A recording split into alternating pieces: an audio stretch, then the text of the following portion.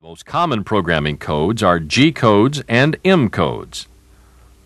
A code is made up of a letter and a 1, 2, or 3 digit number. G codes are called preparatory codes.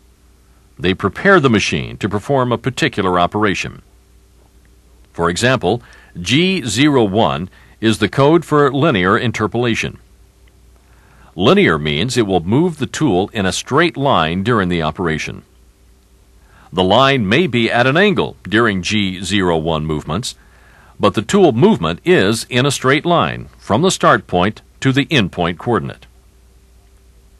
G01 is one of the most common codes used during machining of workpiece surfaces. Typically, a set of coordinates will follow the G01 code in the block. Remember that a set of coordinates in a program normally represent an endpoint of a move. Therefore, during G01, the controller must move the turret from its present location to the new endpoint the coordinates have established.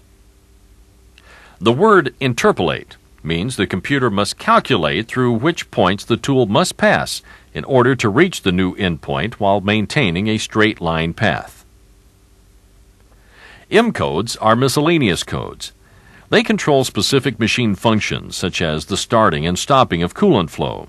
For example, M08 turns on the flow of coolant.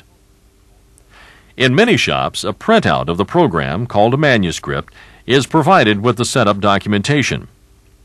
When a FANUC or Okuma control is operating, it will be executing these blocks in the EIA program.